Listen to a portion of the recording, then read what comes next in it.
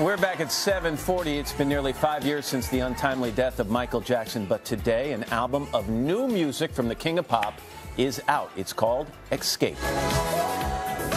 His songs and dance moves are classic.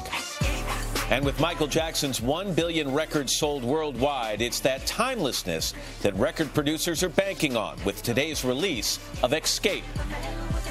Eight new Michael Jackson tracks featuring vocals mined from the vast archive of songs that Jackson recorded but never released. Behind the album, Epic Records CEO L.A. Reid and his team of producers, led by rapper Timbaland, who took Jackson's old vocal solos and put new contemporary music underneath.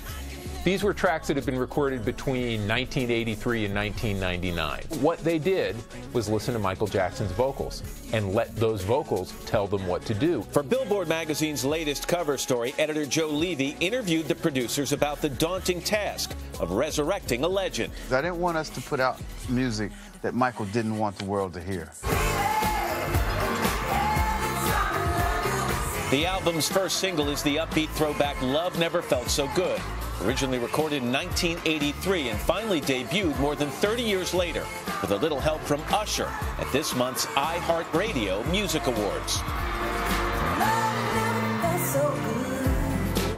There are a lot of really good songs on this record, fascinating songs. There's a remake of A Horse with No Name. Michael does it as a, a song called A Place with No Name.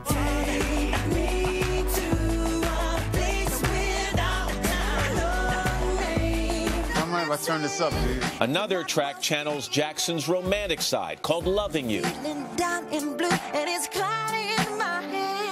Michael Jackson tapped us on the shoulder and said, Would you just do me one small favor and remind people that I'm the greatest? All right, L.A. Reid joins us now. L.A., good morning. Nice to see Matt, you. How you feeling? I'm fine. I want to know what I'm dealing with here. Favorite Michael Okay. Jackson song of all time, Way You Make Me Feel? uh, Billie Jean, Me Human too. Nature. Oh, you went with Human Nature? I'm Yeah. going Billie Jean. All right, now I know who I'm dealing with, Okay. all right? Let's just remind people what this album is not. This is not music that he recorded and released on various No. albums. Not a compilation. No, no, this music has never been released. Some of it has been leaked through the years. But what we did was, I mean, just leaked after Michael passed away, his untimely death. Uh, people who produced the songs or whatever kind of leaked them out. Um, but it wasn't widespread. All kept in a vault. You had hundreds of songs and recordings to choose from. Why'd you come up with these eight? After listening to them, I just listened to the songs that Michael sang completely from top to bottom, you know, multiple times. That was my guide. And the ones that I thought had great melodies that would still stand up today. And, and just talk about the process of bringing them up to date for 2000 for an audience in 2014. Right. So what I did is I basically went to Timbaland, who's the lead producer, and Rodney Jerkins in Stargate, uh, and John McClain, who's the executor of the estate. And everybody took a few songs and uh, and they worked on them. Timbaland did maybe five, Right. And the other producers did one each. You, you have two bits of pressure here. On the one hand, you have to have an, an audience in this year appreciate this music and the way it sounds.